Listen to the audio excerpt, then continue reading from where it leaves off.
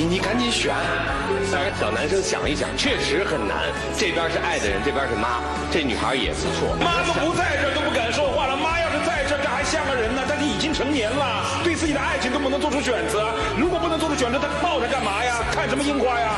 咱们常说拜金女嫌贫爱富，但这种社会上还有一种拜金男的存在。就例如视频开头被涂磊斥责的小伙，他自以为傍上了家境充裕的富家女，于是对其百般宠溺。可在得知女友家道中落后，就毫不犹豫的卷铺玩失踪，并在此期间又收获了一份真爱，引得两个妹子上节目互撕争抢。节目组当众逼渣男二选一，这狗血的一幕究竟是如何上演的呢？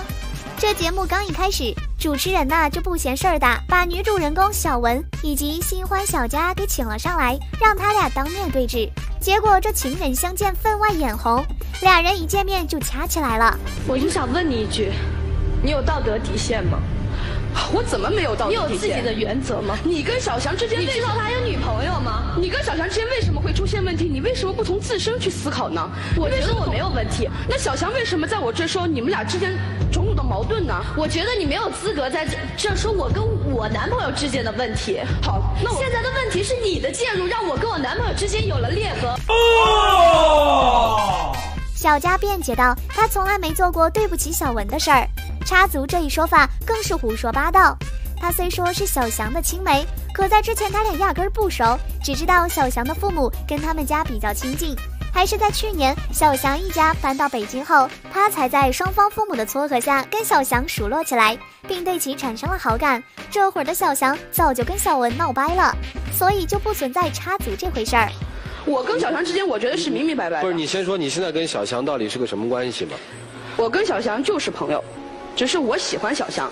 啊，你们俩就是吃吃饭、看看电影是吧？对，也没别的，没有太过的亲密。你也知道他有女朋友对吧？对，我知道。那你觉得你现在介入合适还是不合适？我很坦然，我觉得我喜欢小翔，我没有错，我有权利去追求自己喜欢的东西。但是小翔之后是怎么抉择，我觉得那是小翔的事情。赵川老师听到这儿，便叫小佳下去，把当事人小翔给请了上来。不料小翔一上来就表示他没啥好说的，就是遇人不淑，被一个爱慕虚荣的女人欺骗了感情。我怎么爱慕虚荣了？你总是把钱放在第一位，你的面子是最要紧的。我现在都觉得，如果如果我如果真的是一个很穷很穷的人，你压根儿就不会理我。小翔解释道：“小文这个人真的是特别装，明明家里一贫如洗，却在学校装那种富家千金。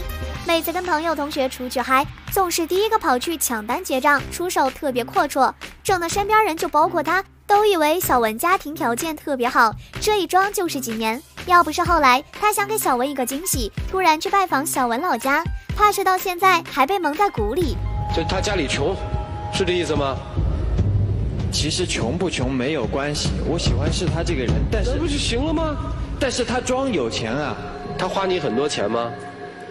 他没有花我很多钱，但是我心里就是不舒服啊。如果我跟他结婚，他还是这样，那怎么办？以后，小文解释道，他跟小翔交往这两年，从来就没贪过小翔的钱，因为他俩恋爱向来是各管各的。就举个例子来说，他之前请同学吃饭的钱，也都是他自己干兼职挣的。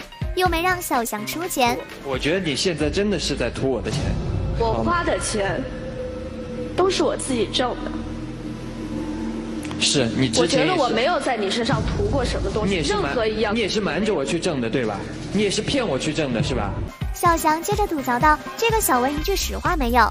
当初他们在一起时，就规定了每周六周日要一起出去约会，培养感情。”可小文却谎称自己家教严，以父母不叫出来为由，把他晾在一边。可实际上，小文的父母压根儿就没这规矩，就是小文呐想趁这会儿功夫出去赚外快，别的啥也不是。我没有说我想不要去刻意的。嗯，你把你的原因说出来。我不想说。你是没脸说。不是啊，人家自己赚钱自己花有错吗？即使是花钱有多大方，也不是掏你的腰包，你吵吵个什么劲儿啊！烦死了！小文坦言道，他出手这么大方都是有原因的。之前他们家是开酒店的，经济条件搁当地也算数一数二的。后来他父亲想更上一层楼，便听了朋友的话，去投资做房地产生意。这一开始经营的还不错，便加大了投资力度，到后面就是被骗了，酒店也因为这资金周转不开破产了，他们家便在一夜之间从天堂跌入地狱。那段时间对于我们家来说是一个特别大难过的坎坎儿，我感觉我爸爸一夜之间苍老了好多。小文从小备受宠爱，上的学校都是当地最有名气的私立学校，里面的学生个个都是富家子。出了这档子事儿后，她害怕被同学笑话，就把这件事儿只告诉了自己最信任的闺蜜。结果闺蜜却在一次吵架翻脸后，当着班里同学的面揭她的短，诋毁她，说我家穷的不行了，都还在这儿装呢，说我父母什么都说，说我跟他借钱。我从来没跟他借过一分钱，所以你受了这种伤害之后，你就觉得不能被别人瞧不起，对吧？你依然在用自己拼命打工、偷摸打工，然后买单的行为，撑着自己所谓的面子，让大家瞧得起你。不是你们家有钱没钱的问题，是你对待金钱的态度问题。你这帮朋友仗着你买单才跟你交往，有什么任何意义吗？是啊，闺蜜的素质低下不能成为你打肿脸充胖子的理由。如果身边朋友都是你拿钱砸出来的，那么这些人跟你那个闺蜜又有何区别？涂磊老师认为，这个小翔才是最虚伪的。在他知道小文为虚荣好面干兼职时，第一时间去指责，气小文骗他瞒他，而不是心疼小文。这两年装的有多苦？他那些事儿是做的不对，我认为也是有些小虚了。但为什么你只知道恨他的欺骗，却不知道去疼他的情分呢？还有第二点。你刚才说了一句话，不知道你还记不记得？你说他惦记你们家的钱。如果一个女孩子她没有不劳而获，她勤奋的自己去获取一些东西来为自己装裱门面，她借你的钱，她也还你，她图你什么钱了？太漂亮了，这儿。这后来吧，小文仍是不死心，又对小翔告白一番，说自己今天是知道错了，日后不会再砸钱充面子。希望小翔能够看在往日的情分上，再给他一次机会。我还想和你一块去雁潭看樱花。我愿意。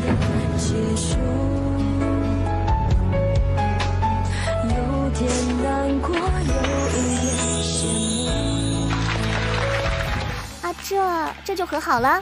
这都啥呀？这是？台下的小佳看到俩人紧紧拥抱到一起，也是按耐不住了，直接就冲上来表示反对。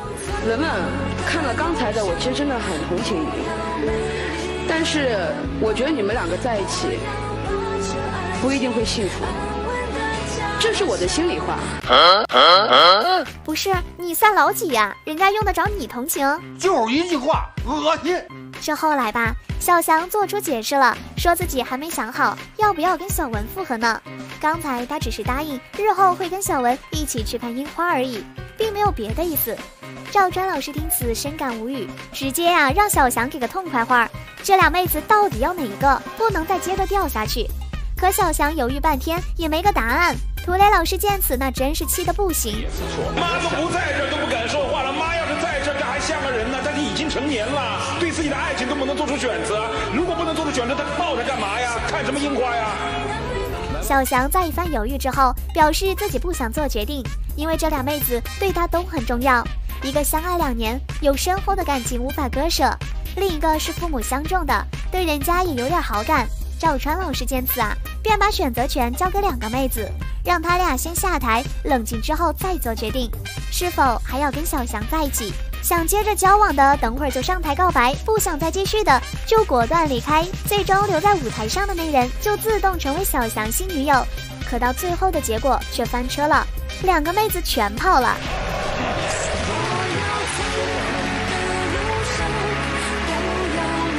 请回吧。